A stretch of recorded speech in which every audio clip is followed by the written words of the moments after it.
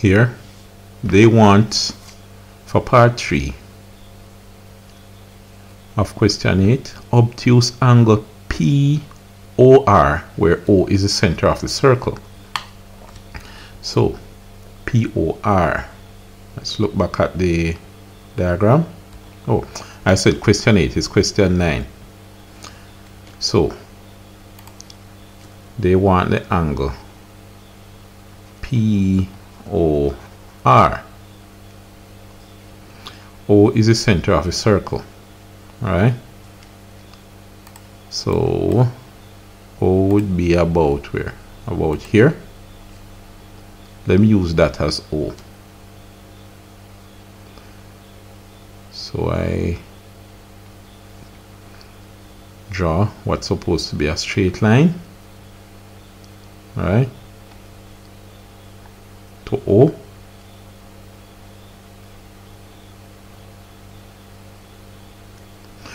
Here now POR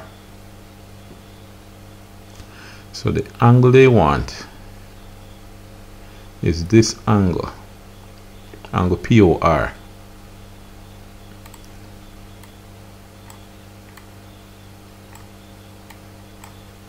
now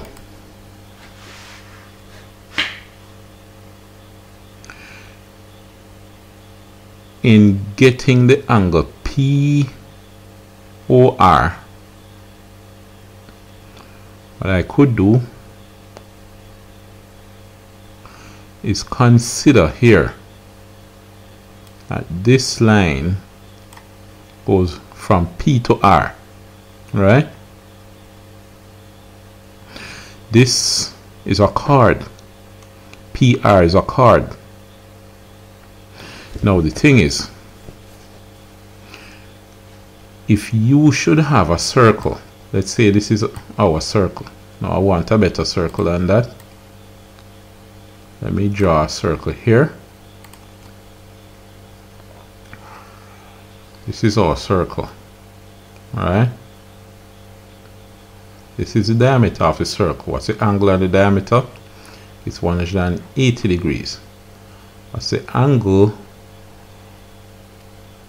the circumference you know it's 90 degrees. And that reminds me that of a circle theorem that says when you have an angle lying on a chord that angle is twice the angle that lie on the same chord that's at the circumference or let me say that again.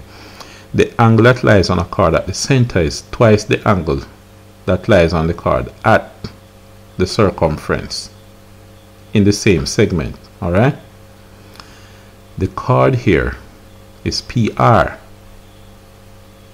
the angle that lies on that chord is POR O is here. There's an uh, another angle that lies on this same chord. And it it is at the circumference in the same segment. And that angle is this. Now what was this angle again? It was 75 degrees. And the angle on that chord must be twice 75 what is twice 75 again 72 140 and 5 2 is 10 so this would be double 75 which would be 150 degrees. Alright? So that angle is 150 degrees